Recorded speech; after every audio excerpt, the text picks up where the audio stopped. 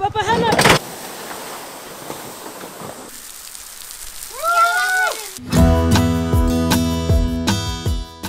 Good morning.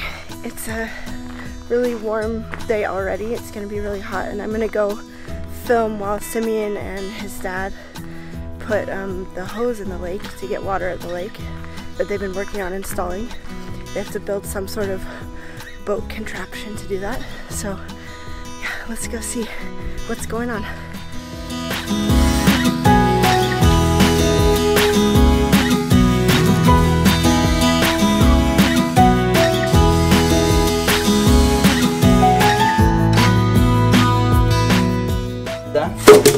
And these are also not screwed in.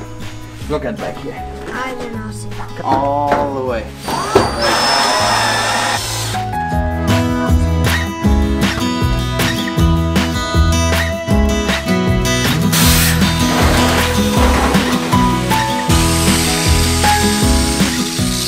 Usually we don't cut sheet metal roofing with this because it gets too hot and it breaks the protective layer from so it will rust.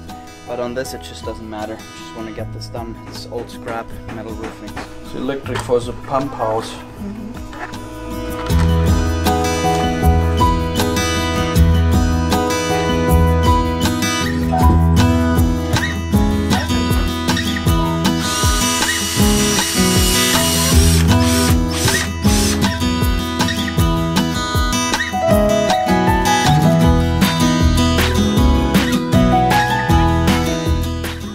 before we take the pump and everything down there, we just want to hook it up here real quick and see if it works properly, if it can build up pressure and everything.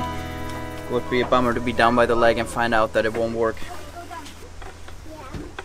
I'm sitting up. Danny thinks it's gonna be loud. This is making you.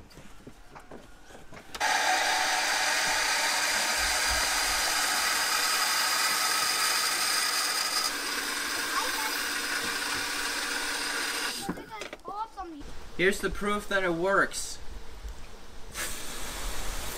Holy crap. Letting the pump run empty now, gonna take it down to the lake. Next step, build a boat.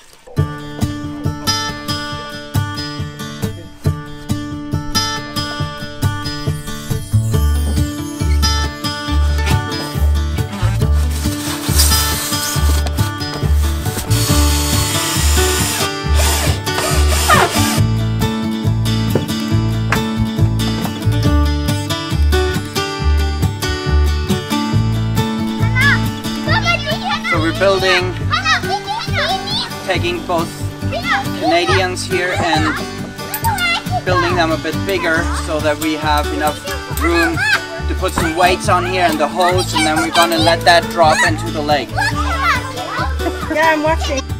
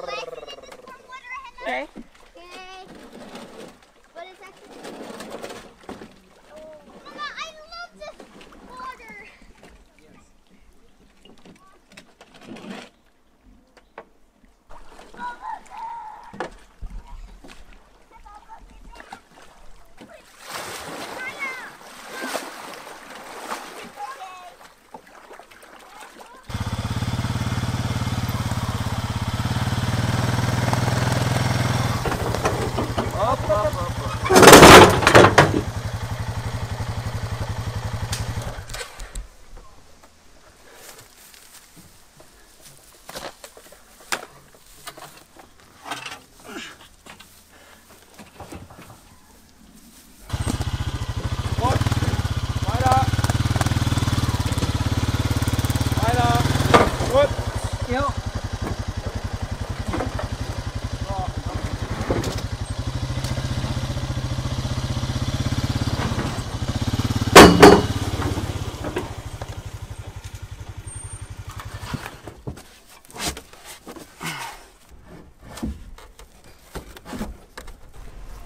So the hose is in the water.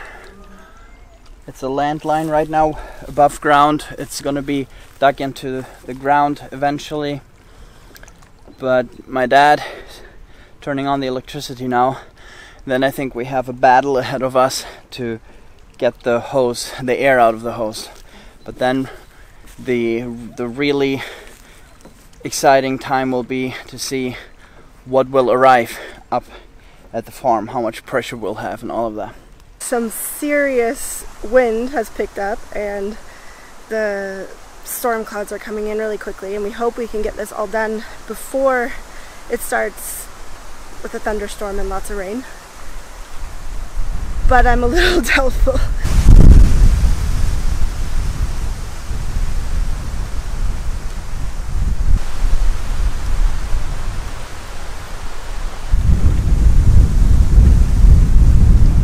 So I've decided to walk back um, before the rain comes and let the guys stay down here and take care of the rest of the installation there. So folks, this is it. The water line to the lake is installed. We've been anxious to see how much pressure will arrive up here. We've had to make runs to the lake daily to get water. Last year was a severe drought here in our region, so we had to get one to two cubic meters of water to keep things alive and going here.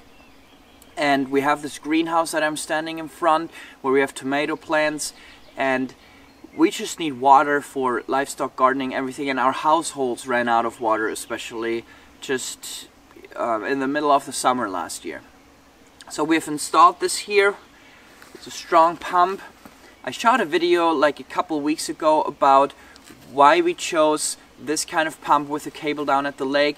I didn't put that in a video back then, but I'm gonna put that in this video now just to give you some extra information. But first, let's look here real quick what kind of pressure arrives here.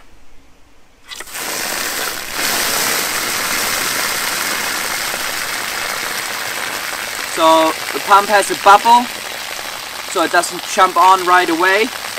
And now the pump has jumped on so now the pressure is building up again.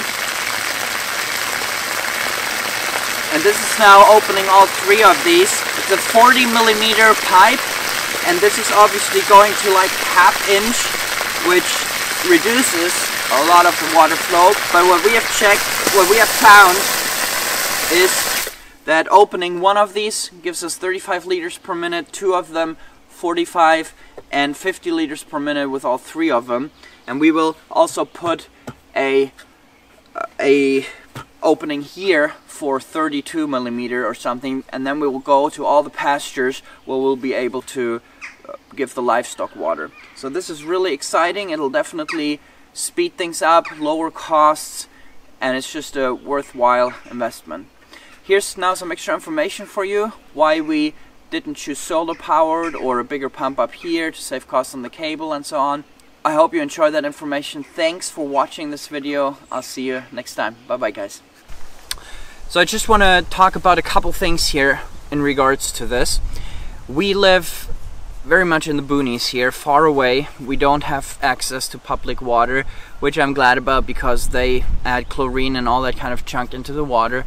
We don't want that. We are very, very happy with our wells. They are just dug by a normal excavator, so they're not very deep. But we have found that they're not enough to support the livestock. We have found that they're not enough to support the homes during a drought. And so it has been very difficult and we had to drive water with our ATV and with with a gasoline driven pump, you know, a couple cubic meters every day for the last few years and we don't want that anymore. So we have been looking at different solutions how we can take care of this and one has been looking at a smaller pump down by the lake that is you know you need less strength to push the water up or a and, and then we would have saved money on buying the pump because it needs it's smaller but we need to invest into a cable all the way down to the lake or buying a much, much, much, much stronger and bigger pump up here that can pull water all the way down from the lake, all the way up here.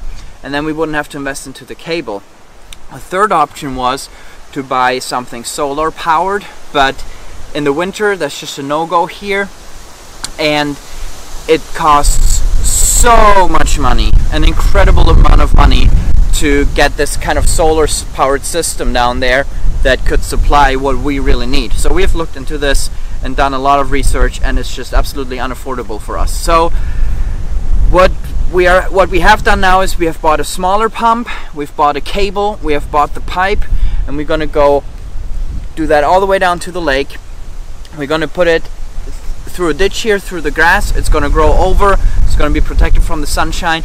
That's just the solution for now for the summer. Eventually, we plan on getting an excavator and digging this cable into the ground which in order for us to get this frost free we have to get one meter deep into the ground here so it's a bigger project to do that which we don't have the money for right now but that's why we just put this here to have this for the summer and fall at least and have water access for our houses as a backup as well